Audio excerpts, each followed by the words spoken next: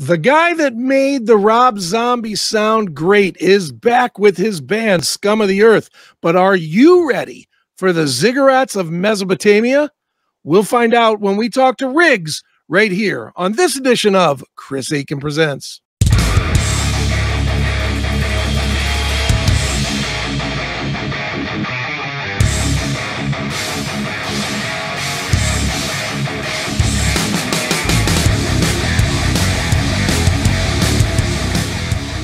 It is Chris Akin Presents, and I, of course, am Chris Akin. And today I am presenting a guy that I I truly believe was the heart and soul behind the um the Rob Zombie band. Because the first two albums are the only two that I listened to. And after that, after that, then I moved on with him to Scum of the Earth, and I loved all three of those albums so far. Uh, I'm thrilled that he's back with a brand new single called Ziggurats of Mesopotamia. He's here to talk all about it. He is the guitarist, formerly of Rob Zombie, certainly of Scum of the Earth. He is the mighty Riggs. Riggs, how are you, man? Hey, doing good. Good to talk to you, man. Loving the new single, man. It's exactly what what any fan would want, man. So why don't we start there, man? Tell tell me a little bit about this single and um and the video and everything that's going on with you. All right. Yeah, I mean the I was working with this band called Gang of Souls, and I was, I was singing on some of their songs and arranging some music, and it just eventually morphed into these Scum of the Earth songs. And you know, I was I was doing this ancient alien stuff like way back in the early '90s, and people were, uh, you know, thought I was dumb didn't get it.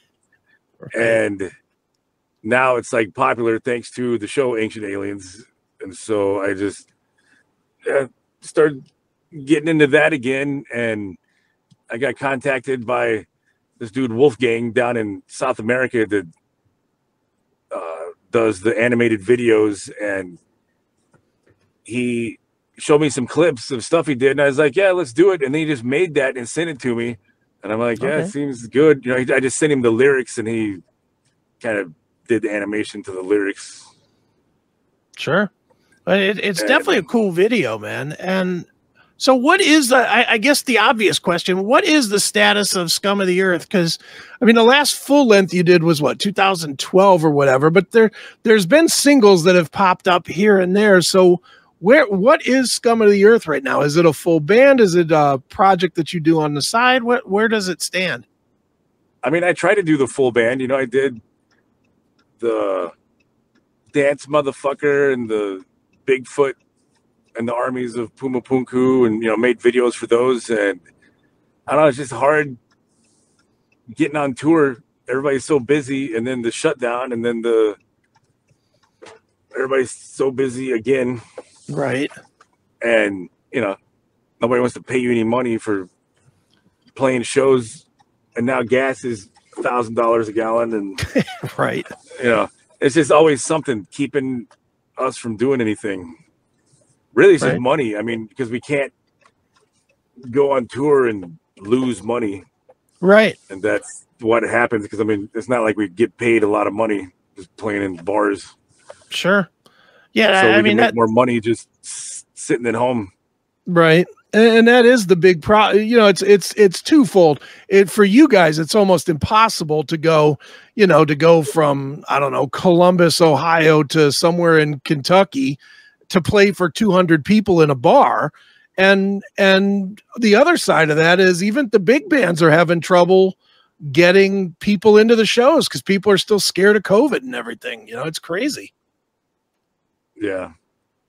You know, I definitely. Because I mean, I'd be on tour all the time if, you know, I didn't go broke. I hear you there, man. Also, when I, you know, it's kind of a catch 22. Like you can go on tour and, you know, not go broke, but then you won't have any kind of production or of any kind. You know, it's just you, some amps, mm-hmm. and then, you know, people don't, people don't seem to like that very much. Right. And then you get the big production and uh, can't afford it.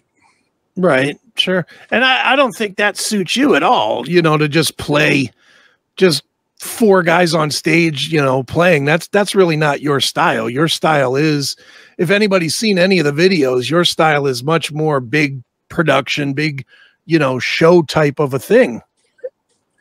Yeah. It's weird, you know, I I just uh you know, we're just not popular enough to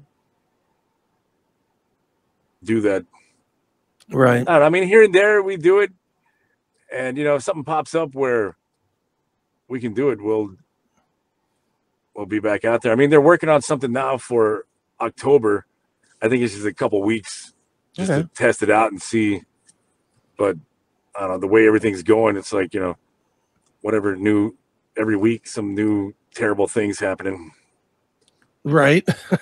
no, you're right. The closer it gets to November, I'm sure it'll be even every day some terrible thing happening. Oh yeah. Oh yeah. By November, they're going to be trying to tell you to go back in your house and hide again, right? I wouldn't. It wouldn't surprise me. me either. Well, dude, one thing that I did want to ask you about that I saw on your website that I thought was really cool was this this NFT thing that you sold out. You know that which is which is great. I'm gonna be honest. I've had a million people explain this NFT to me. I do not understand what exactly it is. What is it that people get when they bought the NFT from from Scum of the Earth? So the NFT, I mean, it just stands for non fungible token, right? If I'm pronouncing that right. And uh, the one they're just a little digital. You know, it's almost like Bitcoin. Okay. You know, you know, it's just a little digital picture that's worth money. Okay. So you know, the, people can buy them and sell them, and they only make so many of each one, and then yeah, I mean, it's just it's like the cryptocurrency. Sure. So these they're like guitar picks that spin around with like little UFOs flying around in the background, and they make you know there's different pictures on each one and then there's x amount that they make of each one. And then you whenever you buy it it goes like on the iphone it go in your apple wallet. Okay. and then you can sell it.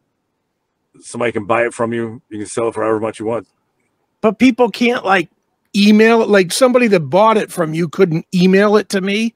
Like i i would have to somehow it, it knows that i have to pay for that? Yes Okay. All right. Yeah, I've, I've just I just can't get my head around. It's too new a technology for me, I guess. But the so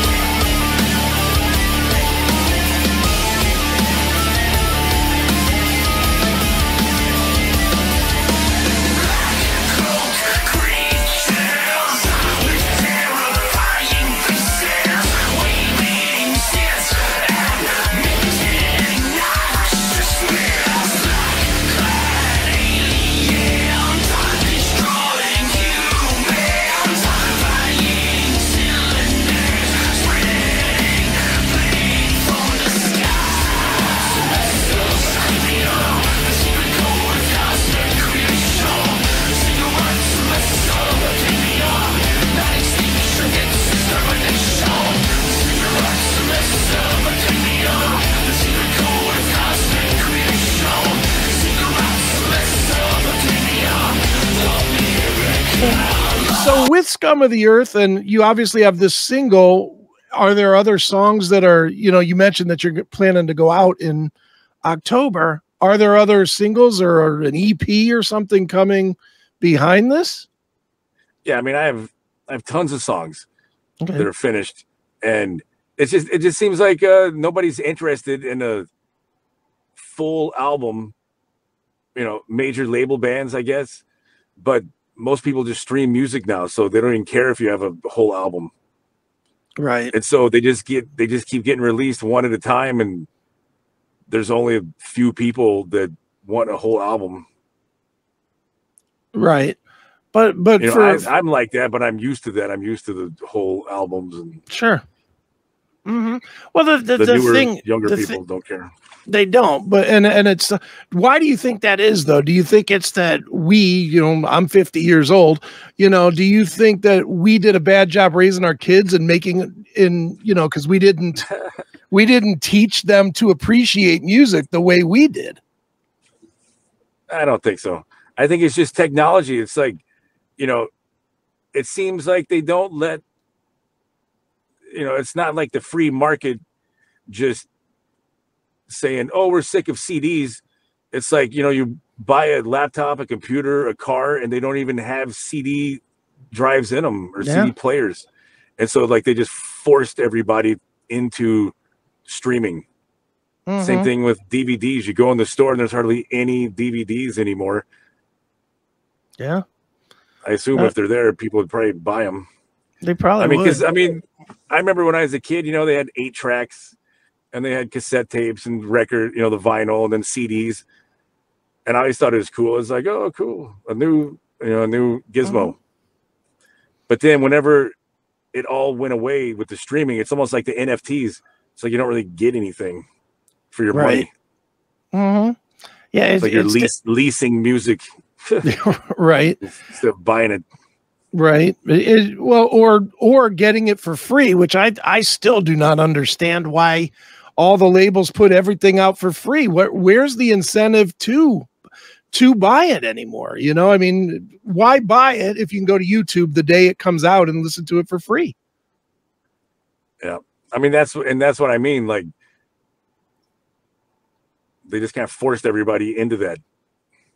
Mm-hmm. No, you're right. And the, the unfortunate thing is by doing that, it kills bands that are not, you know, basically from the 80s or 90s that were huge because to be a to be a band that didn't have a hit in the 90s it's almost impossible to generate enough interest and enough money to go out on tour right Yeah, you just have to tour, you know, every day of your life, Mhm. and I don't you just make more money off just side side things right sure that just end up building up to where you don't even need to go on tour. I mean, that's kind of what happened with me. I just got tons of stuff going on, and if I leave home for a long amount of time, I'll just lose money. right sure the the big thing you have is what the tattooing is that is that like your your big thing Yeah, tattoo the tattoo shop, and like we, you know, do the nightly rental thing. You know, I'm in the tourist town in Branson, Missouri, okay and yeah, so stays super busy with all that. okay And then go on tour, and it's a lot more fun. But then everything else starts falling apart. Right. Yeah. Ev- you almost have you have to you have to sacrifice your life in order to in order to have your music career. Yeah, and I already did that once when I was a teenager. Right. Teenager through my early twenties, you know, I already went through all that and starved to death and suffered for you know the cause.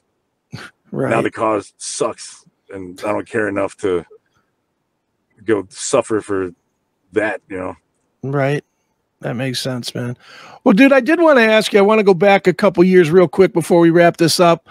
I thought that the video that you did for the Bigfoot and the Armies of the Puma Pu- Punka song, I thought that might have been the best video you've done. And I think it's one of the best songs you've ever done. Talk, talk a little bit about that one, especially the video, because the video is awesome. And I don't think a lot of people saw it. I think it, it's one of those that got swallowed up into COVID, you know, and people missed it. But what a great video. and that kind of fell through the cracks. Yeah. Yeah, I mean that one. Yeah, we put a lot into that one, and and, and we yeah we filmed it during COVID in Branson, Missouri, in uh in one of the big uh theaters that were shut down during COVID. Right. And so we got in there and uh used you know they had the big million dollar LED screen, and we just set up in front of it and you know made a bunch of costumes and got you know it was just it was cool. But yeah, it just somehow fell through the cracks. Right. Yeah, certainly did, man. But but that's why I wanted to make sure that people hear about it now because it's a great video. People should go definitely to YouTube or wherever and, and check it out. And they should also check out this brand new video, which is also awesome. Ziggurats of Mesopotamia. And uh, Riggs, where should we tell people to go to keep up with Scum of the Earth and with you and the eventual tour dates and all that stuff? I mean, I'd say just the Facebook Scum of the Earth page seems like where everybody's at anyway. So, okay, glance over there every now and again. All right. Awesome. Well, one more time, it is Scum of the Earth. It is Ziggurats of Mesopotamia. That is the single. And Riggs, thanks so much for joining me here on Chris Akin Presents. Yeah, thanks for having me.